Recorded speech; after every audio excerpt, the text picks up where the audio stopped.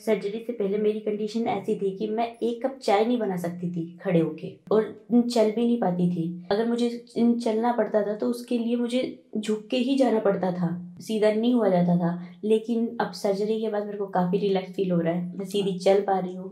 Sir, मुश्किल से दो मिनट भी मैं नहीं खड़ी हो पाती थी। सर, काफ़ी मेडिसिन खाने के बाद कभी ओवरवेट हो रहा है, कुछ हो रहा है। मेनली ये चल ही रहा था तब से।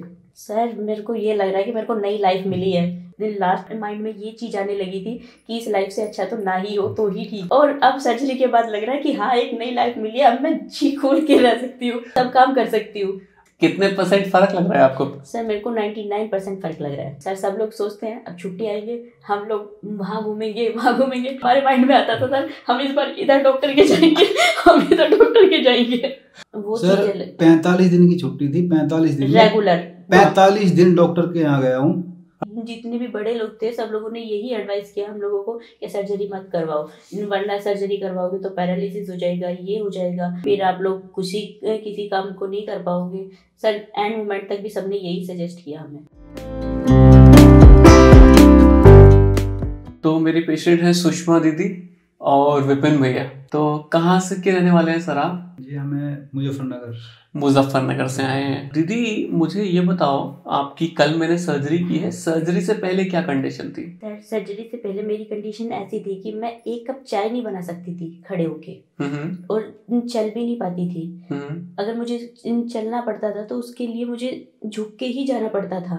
सीधा नहीं हुआ जाता था लेकिन अब सर्जरी के बाद मेरे को काफ़ी रिलैक्स फील हो रहा है। मैं सीधी चल पा रही हूँ। अच्छा जैसे आप खड़े होके कोई काम करते थे तो कितनी देर खड़े रह पाते थे मैक्सिमम सर मुश्किल से दो मिनट भी मैं नहीं खड़ी हो पाती थी। दो मिनट भी खड़ा होना मुश्किल था? जी सर।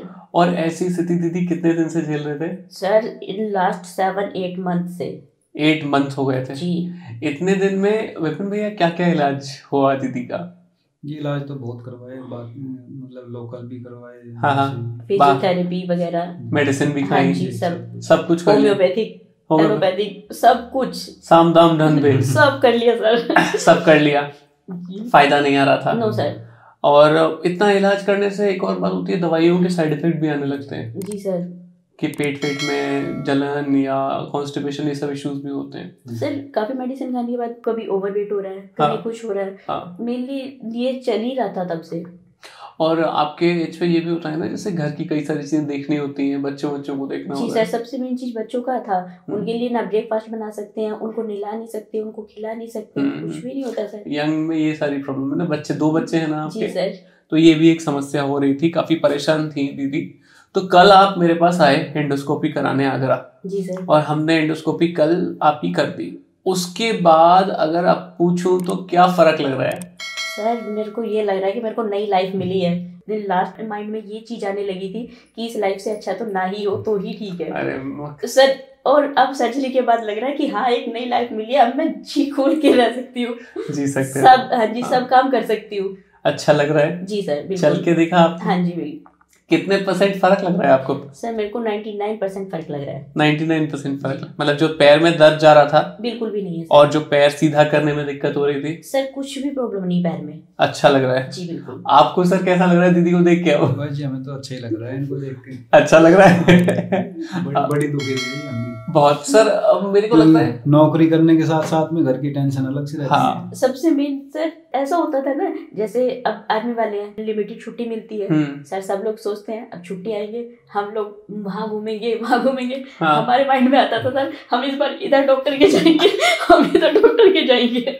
तो आप मतलब खूब घूमे हो डॉक्टरों पे ले लेके हैं। सर पूछो। कम से कम मतलब पहले ढाई साल मतलब एक साल पहले हाँ, मतलब ढाई साल से पहले। हाँ, हाँ, एक साल तक घूमा हाँ, उसके बाद में एक साल तक थोड़ा आराम था। हम्म। सर पंद्रह महीने से रेगुलर फील है। उसके बाद में फिर कंटिन्यू एक डेढ़ साल से फिर।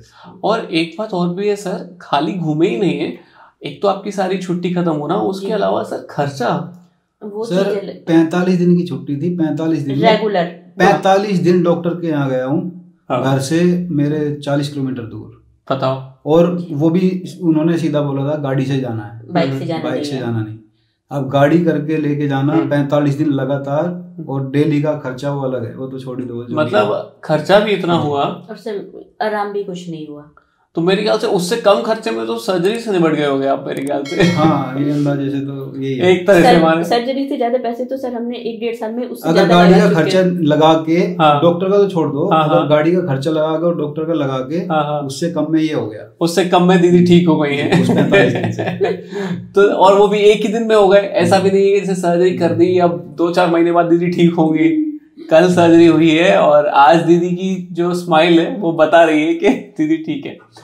दीदी का एमआरआई काफ़ी खराब था। मैं एमआरआई अगर दिखाऊँ तो देखो, ये इनकी अलग अलग डिस्क हैं और ये डिस्क पूरी बर्स्टेड आउट है। और इतनी ज़्यादा दबी हुई थी, इतनी ज़्यादा दबी हुई थी कि इसकी वजह से नर्व दिख ही नहीं रही है यहाँ पे। और इसलिए ही मेरे ख्याल से मैं जब दीदी आई थी पहली बार ओपीडी में तो मैंने बोला कि आप तो बिल्कुल नहीं चल पा रहे हो क्योंकि जी सर बिल्कुल। इतना बड़ा हर्निएशन था। और दीदी के साथ एक इंटरेस्टिंग बात हुई दीदी यहाँ पर आई। तो दीदी जब ठीक हो गई तो उसको कई सारे पेशेंट देख के और मोटिवेट हो गए। जी। सर हाँ। अभी एक भैया सुबह ही आए थे। हाँ हाँ। वो भी ये बोल रहे थे कि मैं डेढ़ साल से सफ़र कर रहा हूँ इस चीज़ से। हाँ। और ना आपको देख के मेरे को ना ये लग रहा है कि मुझे भी करवा लेनी चाहिए। हाँ मतलब दीदी आई और दीदी ठीक हो गई तो दो चार पेशेंट देख के बिल्कुल अब हमें भी सर्जरी करा लेनी चाहिए। तो दीदी ये बताओ मुझे आपको लोग डरा भी रहे थे सर्जरी जी सर बिल्कुल। सबने यही जितने भी बड़े लोग थे सब लोगों ने यही एडवाइस किया हम लोगों को कि सर्जरी मत करवाओ। वरना सर्जरी करवाओगे तो पैरालिसिस हो जाएगा ये हो जाएगा। हम्म, फिर आप लोग किसी किसी काम को नहीं कर पाओगे। सर एंड मोमेंट तक भी सबने यही सजेस्ट किया हमें। लेकिन ऐसा कुछ लगा आपको? ऐसा तो कुछ नहीं लगा सर? तो एक बात मैं आपसे पूछना चाहता हूँ इस वीडियो के माध्यम से। देखिए कुछ लोग जैसे आज भी डर रहे होंगे। तो जैसे दीदी ठीक हुई हैं आप उन लोगों को क्या सलाह देना चाहोगे अगर वो डर लग रहा है सर्जरी से? नहीं सर जी ऐसा है। देखो डर तो सबको लगता है क्योंकि जो प्रथा पहले से चली आ रही है कि हाँ। ऐसे करने से पैरालिसिस हो जाती है। हाँ हाँ। हाँ रही बात हमने भी किसी को मतलब सामने में देखा है। हाँ हाँ। ये चीज़ करवा के गया। हाँ हाँ। मैंने उसको देखा उससे पूछा जानकारी ली एक। डेढ़ महीने तक उसको देखा। हाँ हाँ। देखने के बाद में तब उससे उसके थ्रू फिर आपके वीडियो वीडियो भी देखे। हाँ। तब जाके मैं अब की बार मैं पक्का प्रोग्राम बना के आया था कि अब की बार पक्का ठीक करवाना करा के जाऊँगा दीदी को। हाँ, अब की बार करवाना ही है चाहे जो भी हो जाए।